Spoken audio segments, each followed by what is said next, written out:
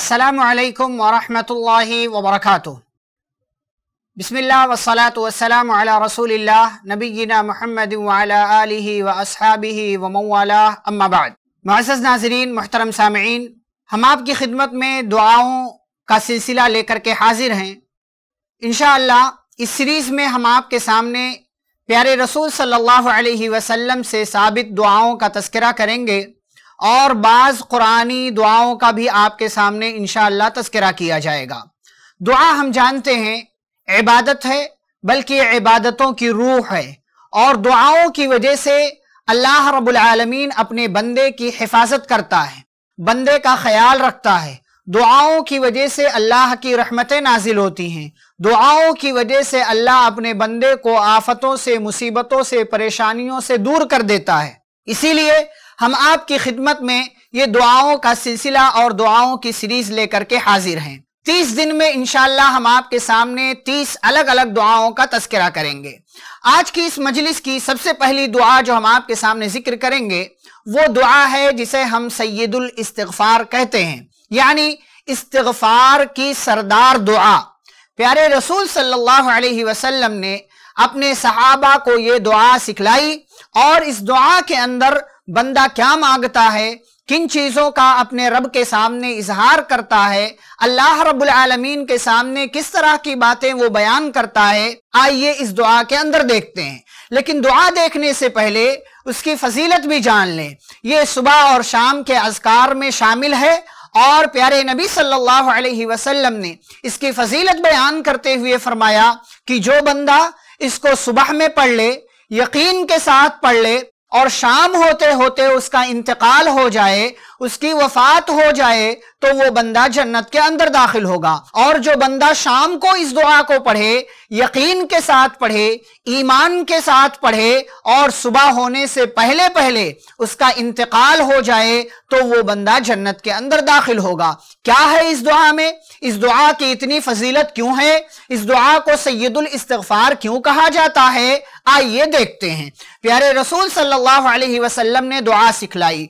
अल्लाहुम्मा अंत रब्बी ला इलाहा इल्ला अंत खलकतनी व अना अब्दुका व अना अला अहदिका व वअदिका मस्ततअतु अऊज़ु बिका मिन शर्रि मा सनअतु अबूउ लक बिनिअमतिका अलैया व अबूउ लक बिदंबी फगफिरली फ़िन्नहु ला यगफिरुद्दुनूब इल्ला अंता ये मुकम्मल दुआ है थोड़ी सी बड़ी दुआ है, लेकिन आप आसानी के साथ इसको याद कर सकते हैं। तर्जमा क्या है? इसकी तशरीह क्या है? इसके अंदर बंदा अपने रब के सामने क्या बातें कह रहा है?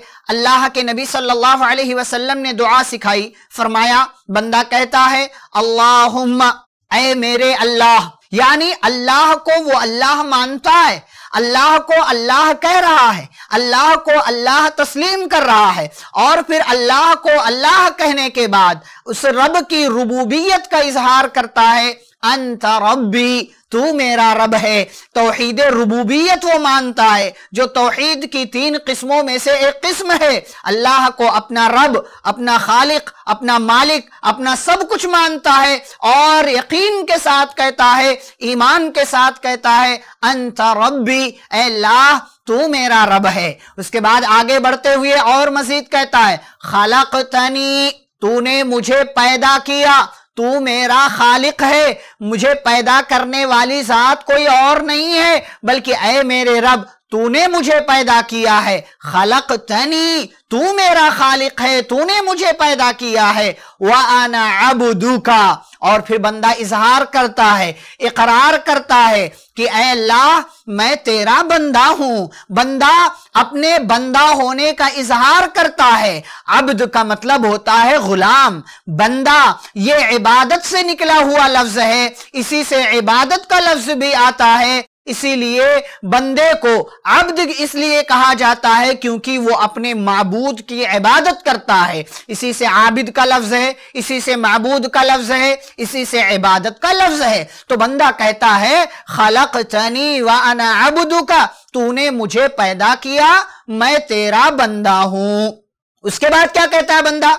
व अना का वादी का मस्तु और अल्लाह, मैंने तुझसे जो वादा किया था, मैंने तुझसे जो एग्रीमेंट किया था, मैंने तुझसे जो अहदो पैमान किया था कि अल्लाह, मैं तुझे अपना रब मानता रहूँगा, तेरी इबादत करता रहूँगा तो अल्लाह, तुझसे ये किया हुआ वादा मुझे याद है। और मैं तुझसे किए हुए इस अहदो पैमान पर, इस वादे पर तू अपनी ताकत के मुताबिक कायम हूँ। जितनी मेरे अंदर ताकत है, जितनी मेरे अंदर सलाहियत है, जितना मैं कर सकता हूँ। अल्लाह, मैं तुझसे किए हुए वादे पर कायम हूँ। वह अनाहदी का व वादी का तो मैं तुझसे किए हुए अहदो पैमान पर अपनी ताकत के मुताबिक अल्लाह कायम हूँ। उसके बाद बंदा अपने रब के सामने अपने गुनाहों का एतराफ करते हुए कहता है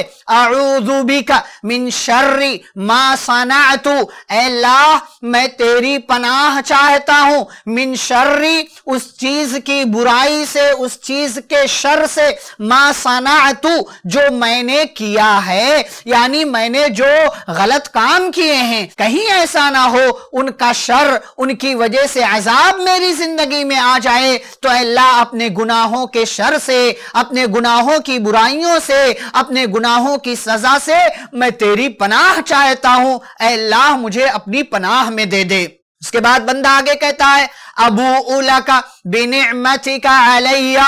अल्लाह, मैं तेरे सामने इकरार कर रहा हूँ एक्सेप्ट कर रहा हूँ, एतराफ कर रहा हूँ कि तेरी नेमतें मुझ पर बहुत सारी हैं, तेरे एहसानात हैं, तेरी तरफ़ से मुझे बहुत सारे फजलो करम मिले हुए हैं। अबू उलका बिनमती का आलिया तेरे बहुत सारे एहसानात हैं। अल्लाह, दिल से उनका एतराफ करता हूँ, तेरा शुक्र है, तेरी हमदो सना है। फिर बंदा आगे कहता है, वह अबू उलका बिजम्बी, और अल्लाह, में तेरे तेरे जनाब में, तेरे दरबार में, तेरी खिदमत में, तेरे सामने अपने गुनहगार होने का भी एतराफ करता हूँ कि मुझसे गुनाह हुआ है। मैं गुनहगार हूँ, मुझसे खताएँ हुई हैं, मुझसे गलतियाँ हुई हैं। मैं तेरे सामने इन सारी गलतियों का एतराफ करता हूँ। फिर ये सारी चीज़ें कहने के बाद, अपनी गलतियों का एतराफ करने के बाद और अपनी बुराइयों का एतराफ करने के बाद, अल्लाह की नेमतों का एतराफ करने के बाद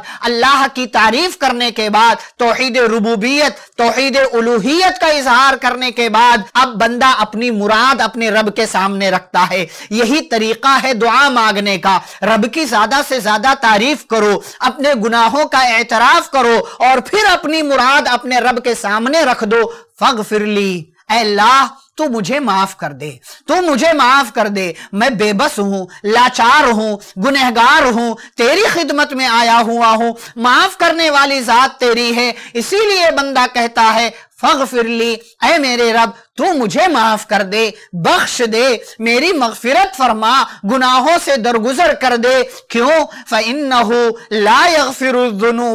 इल्ला अंता। चाहे वो किसी भी तरह के गुनाह हो, गुनाहों को तेरे सिवा कोई माफ़ नहीं करता। अगर तू माफ़ ना करे तो अल्लाह मैं कहा जाऊँगा? किसके पास जाऊँगा? कौन मेरे गुनाहों को माफ़ करेगा? इसलिए कि माफ़ करने वाली जात तेरी है, गफूर तू है, रहीम तू है, तवाब तू है फगफिर ली मुझे माफ़ कर दे फ़ैन अल्ला अंता, तेरे सिवा कोई गुनाहों को माफ़ नहीं करता। ये मुकम्मल दुआ है, उसका तर्जमा है, उसकी तशरी है। प्यारे नबी सल्लल्लाहु अलैहि वसल्लम की प्यारी दुआओं में से एक निहायत ही प्यारी दुआ है। सैदुल इस्तगफार कहते हैं, सुबह और शाम के अस्कार में ज़रूर इसको पढ़ा करें। अल्लाह अंत रब्बी, ला इलाहा इल्ला अंत, खलकतनी, व अना अब्दुका, व अना अला अहदिका, व वादिका मस्ततातु, अऊज़ु बिका मिन शर्रि मा सनअतु अबूउ लका अलैया,